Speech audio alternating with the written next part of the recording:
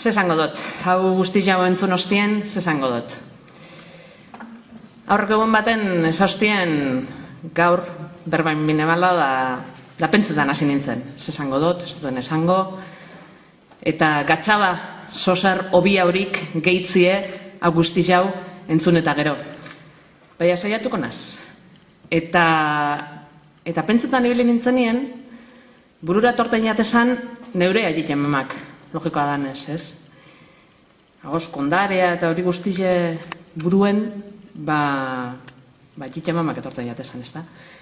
Da, ez da kasualidadi ez, bueno, urte asko emone basanik, atxitxe da mamagaz bizizieten, e, neure hartza, aurtzarue, ize osorik emone ba neurekaz, da, da, bueno, ba, asko eskertu behar dutziet, ez? Zeui moduen, ba, eurei be, eskertzeko moduko hainbat eta hainbat gauza deket.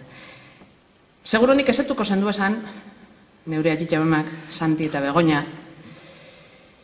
Eta, eta ekitaldi honegaz, zer ikusirik badekon pasarte bat, pasarte txikitxo bat, gogoratu neban. Nik atxitxegaz ordu asko moten nebazan pasioen, durengotik zier, eta behin, gogoratzen dut, Andramariti zier, pasietan, eskizita parien edo, Baitite kantetan abestu zan, hasi zan, parkatu.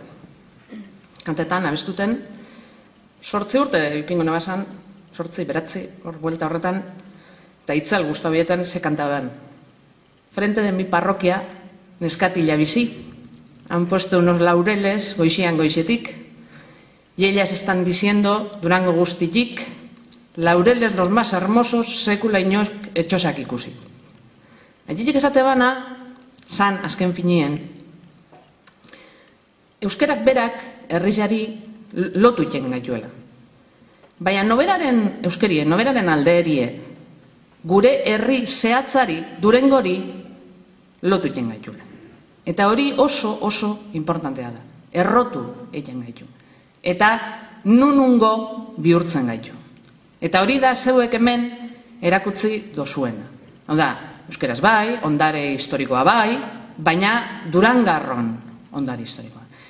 Beraz, eskerrik asko dan hori, zeuen bizitza hemen jarri dozuelako, zeuren durangar izaera hemen jarri izan dozuelako, eta danon eskura jarri izan dozuelako.